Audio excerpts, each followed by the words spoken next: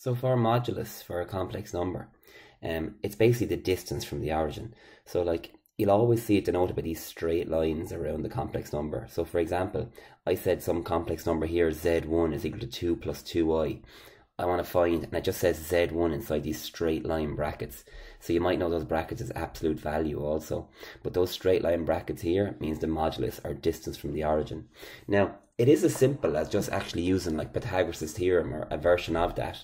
So the important thing is that I'll give you a formula now that will always work for it. But the one thing I would say to you is the one that we have to be important is don't include the i's in this formula. So uh, this is the way I give it out in class, right? So we put a box around that and say, look, just remember that, right?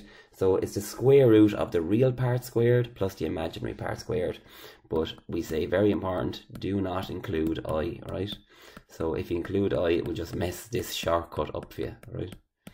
So uh, let's do it for this one here. So it's the square root and the real part is 2 to be squared and the, uh, with the imaginary part is also 2 to be squared. I didn't put the i in.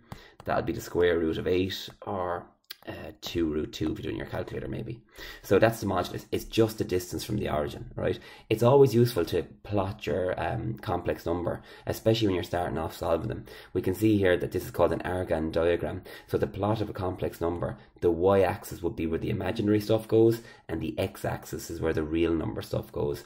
So you can see the green dot here I have for Z1 is above the real number 2 and across from the imaginary number positive 2i. And that's why that dot is there.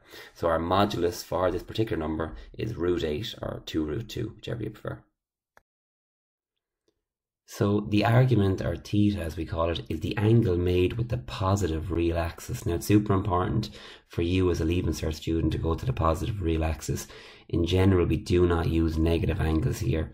So if you're my student, I would insist you use the positive one. It just makes your life a little bit easier when you get to the exam and they insist on giving a positive answer. Um, let's look at the simple case first. And the complex number I just gave you, 2 plus 2i, what's the argument for that? Well, it's as easy as thinking about your SOHCAHTOA rules. In fact, we'll probably always use the tan um, ratio here, but let's look at it.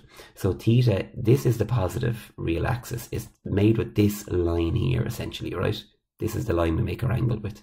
So we come up to here, we're going anti-clockwise always. But I'll draw the other angles in so you'll understand it. So let's look at this angle here. How I like to think about this is just as a right angle triangle. So for Z1, let me just draw like a right angle triangle that represents that angle in there. So theta will be in here. Now, I'll just forget about the imaginary process and think that I'm out a distance here of 2. I'm up a distance of 2 also. You notice I forgot about the i's there. Don't care about them. I'm just looking for the type of angle that would make. Now, it may be obvious to some of you what that angle is, but let me just show you how you would get that. So here's our theta. Here's our opposite side. And here's our adjacent side when we make that little representation, right angle triangle. So that's going to be the tan inverse, and of course it's opposite over adjacent. That's 2 over 2, and tan inverse of 1 is going to be 45 degrees. Now, only thing is, we need that in radians, and that's pi over 4. If your calculator is already in radians, it will give you pi over 4. But if you get an answer of 45 degrees, you just realize that you should be putting this in in radians. You will see they will always use radians in complex numbers. And I like to remember that 180 degrees is equal to pi. So therefore you can, it's simple to remember that 90 degrees is half of that. So it's pi over 2. 45 degrees is half of that again. So it's like pi over 4 and so on and so on.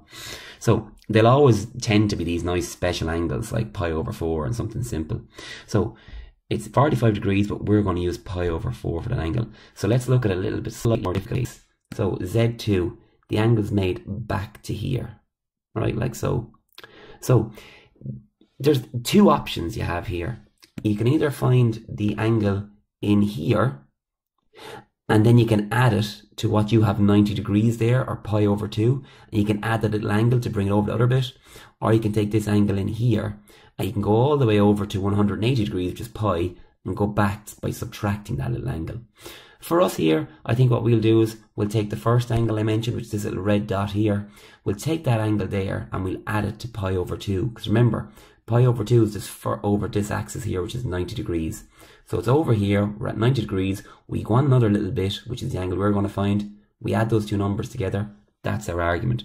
So for Z2, let's look at the triangle we're going to deal with. So the triangle is going to look like this, made with the axis here, the imaginary axis. And the angle I said I'm going to find is this little one in here.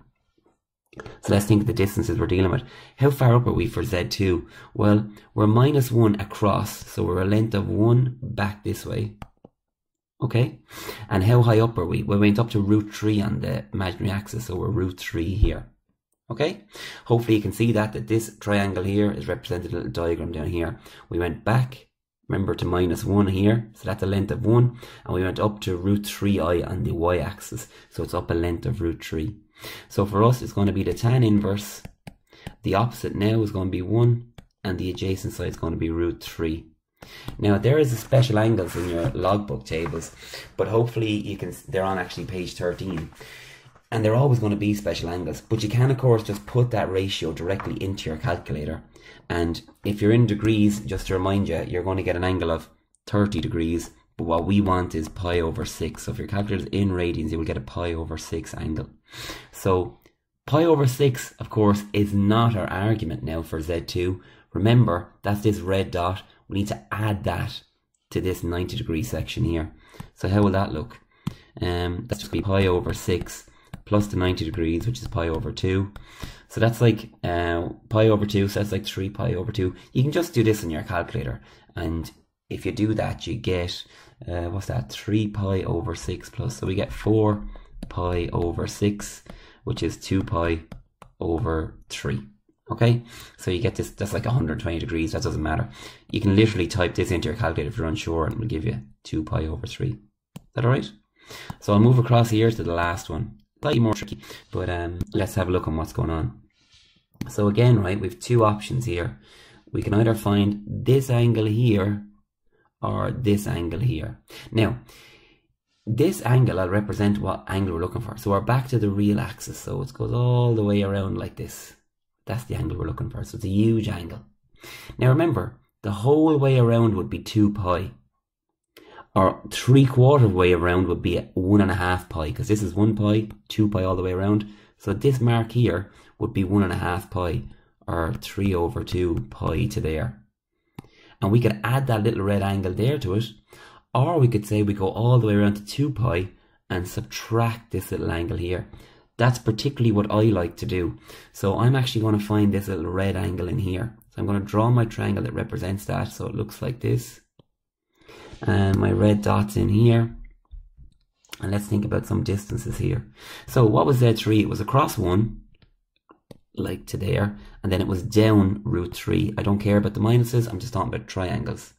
So I'll make my tan inverse for that. So my ratio tan inverse for this angle is going to be the opposite, which is root 3 over the adjacent, which is 1. So what's this going to be? So you do that in your calculator, you're going to get 60 degrees, but what you should be getting, of course, is now pi over 3. Alright?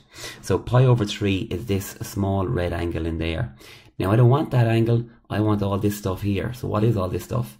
Well, it'll be all the way around to 2 pi and back that pi over 3.